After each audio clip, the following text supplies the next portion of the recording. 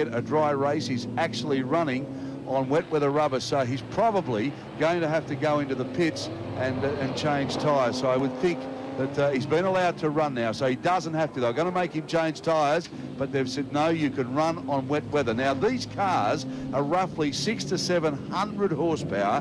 They weigh around about 800 kilos, and uh, so you're talking about Group A power in a car that's just a tenth of the weight. Yeah, that's right, Daryl. We, we've got uh, these lightweight cars You'll find a lot of wheel spin. This track's a little bit greasy, still a little bit greasy, although it's drying out in uh, many spots, it's greasy, so keep your eyes on them when they power out of these turns. Yeah, incredible cars. They don't resemble anything that you've... Uh, I mean, they're all models. There's a Mercedes, for instance, there. It doesn't look anything like a Mercedes. This is a very big field of cars as we go through uh, the group, the grid for you now. Poole and Trenoweth there. They're the...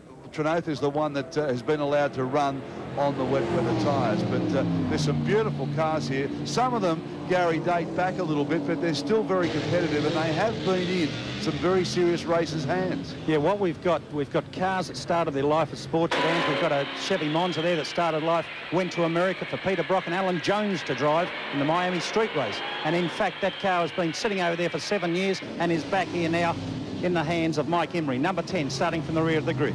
They're still really nice looking cars though. I mean, uh, I'm, I'm, really impressed with those. I, I, just think they've, they've been around for so long, the Chevy Monzas, that they look great. But you're looking at Holdens, you're looking at Hondas. They've all been highly modified. And of course, the engines don't sit where uh, they do in our family cars. No, you're right. They sit uh, right along your hip, uh, alongside your hip. And in the hot day, the guys will be pretty happy because it's uh, cooled down now. They get pretty hot inside those cars.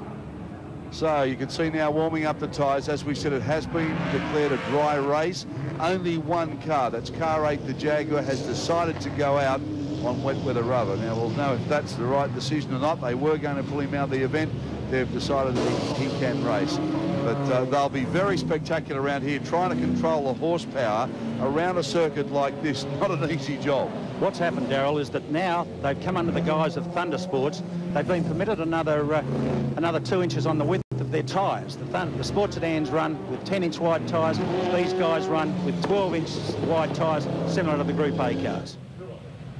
Yeah, beautifully turned out too, these cars. I mean, they've had the special bodies made from, as we said, the engines have been uh, totally repositioned. These are dead set racing cars. They certainly are. There, there's a couple of cars, one coming uh, in the back there that looks like Glenn Seaton's old Sierra Group A car. It is, in fact. It's one of his old cars, and it's now uh, running in the uh, in the Thunder Sports class.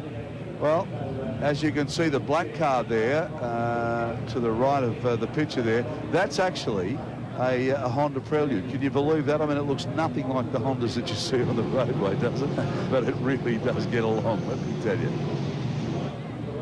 Still wearing Glenn Seaton's uh, colours there.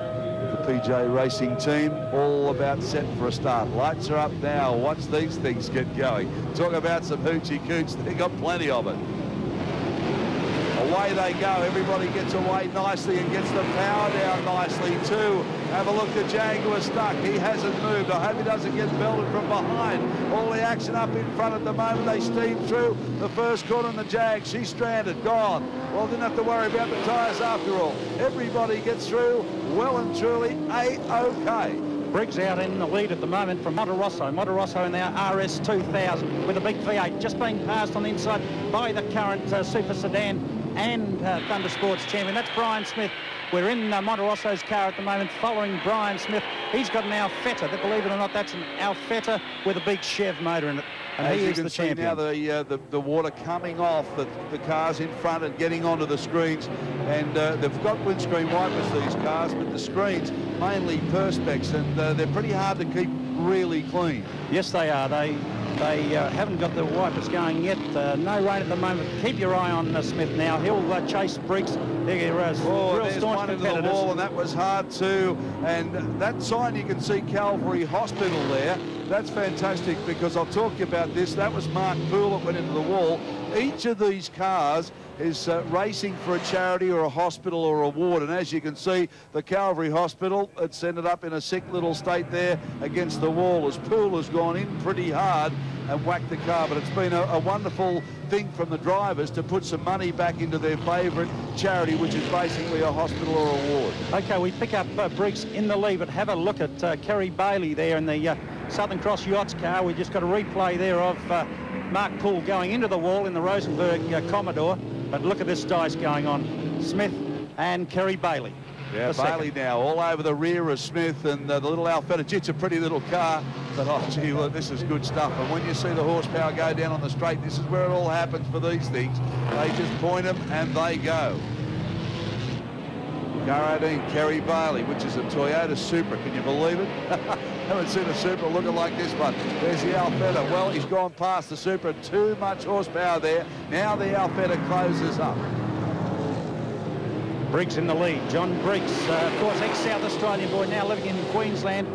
Uh, this car valued at something like $200,000. It's a high-tech uh, machine made of carbon fibre, Daz. Yeah, John Briggs, I mean, uh, he's been a long-time supporter of this class. As we said, these are real racing cars very light, very powerful. You can't believe that's a Honda Prelude, can it? Oh, look at that. You can see it just snap away as soon as he puts the power down. And here's a spinner now. This is car number six. Barnes goes around, and he's lucky no one collects him. As we said, a lot of horsepower on a greasy track. It's a handful. Bailey now, all over the back of Briggs. This is good stuff. Plenty of power in the in the big Supra, no doubt about that. But the Honda out in front at the moment. Now they'll come on. One more corner onto the big straight. We'll see about the horsepower. Briggs tries to cover his tracks. Bailey now has a little dart out and has a look. He'll tuck in behind. Then he'll just jump out of the stream and have a big go. Yeah, talk of uh, Briggs going to Group A racing, but uh, geez, a winner in this class. I can't see him doing that at the moment, but here is uh, Bailey chasing him right up now as they uh, as they head down that uh, straight once more. Good stuff from uh, Briggs now. Gets right and keeps it tidy at the end of the straight. Bailey has to just duck in behind. You can see the track is quite wet there. Now he tries to put the power down. Briggs, though, covers his tracks. You can see the car snapping about under power. Kerry Bailey comes up beside him again, puts the nose there. He's done everything he can to force the error. Kerry Bailey. He's an abalone diver. He's also uh, director of uh, Southern Cross Yachts.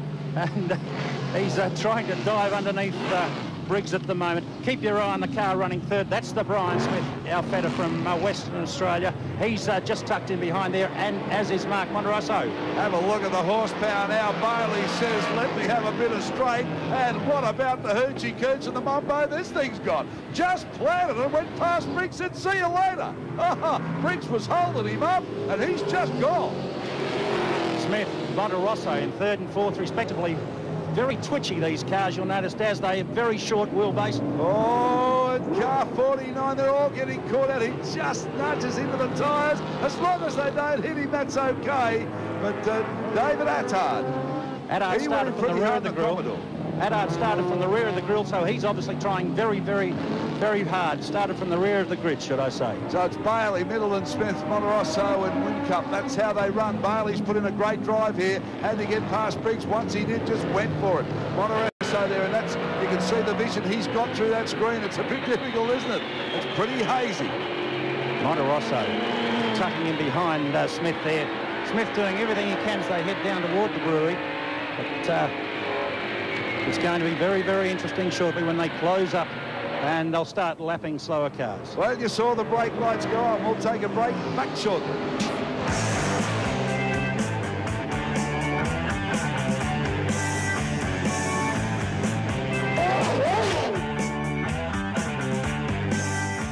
6.30 Sunday... Why don't you ask me? A proposal. We're marrying him. Yes. With fiery opposition. I'm not going to squander my daughter. I'll have to break him. You dare! With a elope. Banjo Paterson's The Man from Snowy River, Sunday on 9.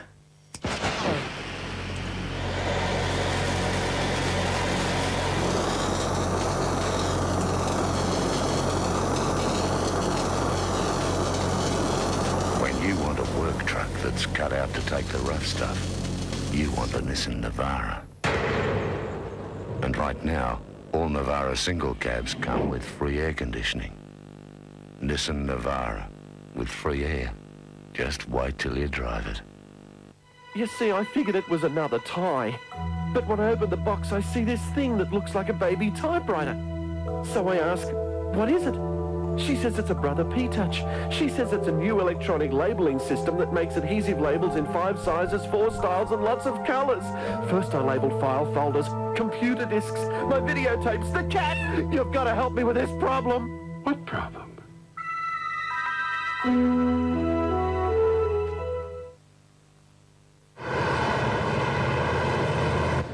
Pump seven, thanks. Don't worry, Dick. I'll get this lot. Barry, I've got a couple of extras I'd like to Don't get, worry, thanks. I'll get them and all. Don't worry. Barry? I insist it, really. Are you okay? Absolutely. You'll be taking off in no time at this rate, Mr. Sheen.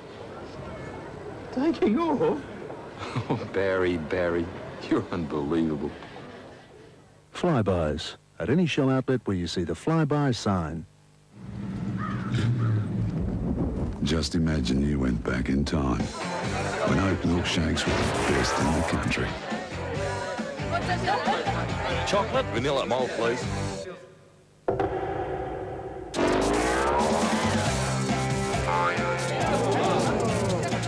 These days you can still get the same fresh, creamy oat country milk bar flavours. Oak flavoured milk. Goes down like a dream. If you've been looking at a Commodore or a Falcon, you should look at this absolutely unrepeatable deal on a real luxury car. It's the Nissan Maxima run-out sale. Save thousands and thousands of dollars thanks to absolutely unrepeatable factory bonuses. Check these features. This is a limited offer at absolutely unrepeatable prices. Nissan Maxima. Just wait till you drive it. These deals won't last. At your Nissan dealer as soon as you can. Out to impress. Only 17 of 28 Kangaroos will take a place in the third test. So Monday 8.30, they're playing for history. Australia take on Bradford Northern in a game sure to be full of fire. The Kangaroo Tour continues on 9.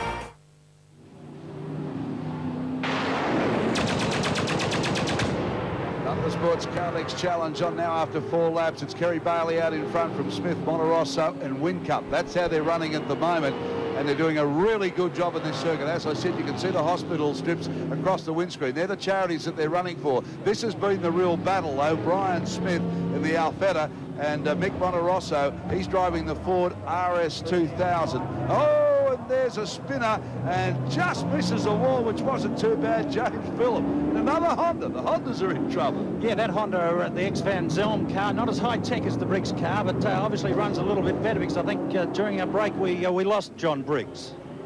A little bit optimistic with a sunroof. you wouldn't believe it. It's not a good day to have that open. The Alfetta now, you can see the uh, the windscreen blade gliding up there. They're just putting them back on again because the rain's starting to fall down. Locks it up. Smith under brakes a little bit. That's okay, though. You'll see a lot of that from these cars. Mick Monterosso trying all he can to get back, but Smith now just takes a little bit more from him on this part of the circuit. You can see how hard he's working, just tippy-toeing the car around. Remember, six to 700 horsepower it is. Your family car's got, what, about 120? Yeah, 120, 140, and uh, these things go. They're very twitchy, very short in the wheelbase, very hard to drive. Really nice looking car, the Alfetta. It's a, it's a, a design to me that's never really dated. Yeah, it was built by K&A Engineering here uh, a few years ago. It's been updated uh, by ba Basil Riccardello in uh, Western Australia. This car's raced in Malaysia. It's, uh, it's a top motor car. So Smith now in the Alfetta doing uh, a pretty good job holding Mick Monterosso up. Look at Monterosso, he really gets it a little sideways there as he kicks the power in. And you can see that you just can't do it with these cars. You've got to be so smooth. Well, Mick, uh, Mick's talking to, talking to Mick earlier. He's talking of uh, lengthening the wheelbase in that car and putting a... Uh, Oh, another one off car another one. 49. Oh, that's, That's a pretty Attard. big accident. You can see the fiberglass there comes down. David Attard, he's hit hard, no doubt about that. That's the Commodore. And another one in. Charlie Car 21, Sinisi. they're going off everywhere. Charlie Sinisi, and that's in a Ford Capri, so he's gone off pretty hard as well. Yeah, Charlie, uh, Charlie loves his racing, he was telling me earlier, and uh, boy, I don't know whether he likes it at the moment. Well, I guess it had to uh, happen in this class because you can see how wet it is in some parts of the circuit. Yet on the main straight here, it's almost dry. So the drivers have got to really contend with a real wet circuit, then get back onto the dry stuff. You can see Mike uh, Imrie there. That's a pretty car. I really like that looking uh, car. That's what, number 10. Yeah, that's and the that's car. the Mazda RX-7. Gee, that's a nice car. Yeah, that was actually the um, the Monza that went to No, America. Chevy Monza, I should say, Yeah, that's the the, red car. Monza. That, that's the car that went with uh, Alan Jones and Peter Brock to race at the Miami Street Race in America, and uh, has just come back to Australia. It's pretty good value, these cars. I mean, they do hang around for a long time, and I know they're constantly upgraded and that sort of thing, but, you know, you can get some good value out of it. Look at Monterosso here as he comes down under brakes again. Yeah, Monterosso, as, as I was saying before, is uh, talking of putting a, uh, a forward uh, probe body on there, lengthening the wheelbase a little bit and uh, hoping that the car will handle. Actually, the car was his brother's. He had a Commodore. He's bought the car now and uh, he's doing very, very well in it. Well, Kerry Bailey's doing pretty well too. He's handled his track very well. Big car, a lot of power, but you can see he's handled it nicely. Once he got the brake, once he got past Briggs, he really just opened up the door. Monterosso's tried very, very hard. He hasn't given up, as you can see there. He just squeezes in to get round the corner. He's certainly having a go. Yeah, the local South Australian, he's uh, he's reasonably unbeatable here in his own state in club meetings and whatever, but uh, he's certainly uh, one of the hard chargers in this uh, Thunder Sports class. Eight and a half seconds the lead now. It's pretty handy under these conditions. With the rain coming down, the circuit is going to get a lot more slippery, but you can see he's got to contend with the traffic. Sits in behind, watch it. He'll come down into the braking area and just dive out. This is that car 10 we talked about, which is uh, Imrie's car. Got quite a history, and I still think, you know, they, they're still an attractive looking shape, aren't they? Yeah, they certainly are, the Monza, and of course that's that's part of this, the, the, the enjoyment of this particular class. They're going to be trying to bring cars from America, from New Zealand, and from Malaysia, and what they're talking about is sending our cars back over to America, which is uh, going to be pretty, pretty interesting. Well, the public love them because they really do get sideways and they make the best noises you've ever heard in your life. They really, they are aptly named Thunder Sports. Mick Monterosso is trying everything he can to bridge the gap between Kerry Bailey. The thing is just diving all over the circuit. He's got it understeering, oversteering. He's just trying, fighting to keep it on the track. That's this short wheelbase. There's something like a 96, 97 inch wheelbase compared with your uh, Commodore of 105, 106 or 107, something like that with the Falcons. Rain absolutely bucketing down again here now. You can see quite heavy the shower coming up as we look at the last lap. And uh, the punters here have been terrific. They've stayed up, but you can see the rain back here again. Unbelievable here in, in Adelaide. You can go through the longest drought in history, which Australia in some parts is doing at the moment. Put a motor race on, it'll rain. but it's, uh, it's been really exciting racing today and everybody I must say has done a terrific job on a circuit that's pretty daunting. Look at Monterosso now. He gets up on the inside. This is good stuff there's got to be a touch here. They go, no, they don't touch. That's terrific driving. Well, that's what I said. When that slower car's getting got in front, of you watch what happens and have a look at Monterosso. He's great in traffic, looking for an inside dive once more on Brian Smith. Brian Smith's not going to let him have it, though. Swings, turns the car in right and heads off uh, down that uh, short straight once more. I can't believe how twitchy Monterosso's car is. It really does just dive around under acceleration, under brakes, where if you look at Brian Smith's car, it looks so much neater, doesn't it? So much more tidy. It certainly does. It's uh, the development, uh, the development of that car, and as I said, um, that's Monterosso, Monterosso's brother's car. He's only just uh, got into the car, so he's probably not used to it yet either, Daryl. So fighting for a position here, Mick Monterosso, he really has been the uh, the wild man of this race. He's done a terrific job to keep it off the walls, the way it's been diving around. He blasts his way down the straight for the last time here. Can he get him? Traffic comes into contention now. Smith dives up the inside. Certainly got the line. Monterosso now. He's, he's going to try and get up on the inside of this corner. You can see pokes the nose in. There's a touch. They've had the touch. Monterosso comes the other side. But uh, Brian Smith keeps him covered there. Gets the power down nice and early. It'll be a dash to the line. But Monterosso uh, can't do it, I don't think, from there. Look at this rain now. Absolutely bucketing down. And I think it's just about in time as Kerry Bailey takes the flag He takes the win. Terrific drive from him. Once he got past, he did a great job. This is the battle for second and third. Up they come now. Brian Smith will get the power down. Monterosso won't give up. Dives up the inside. Won't get Smith though. Takes second. Monterosso takes third. Terrific display from the boys with these really powerful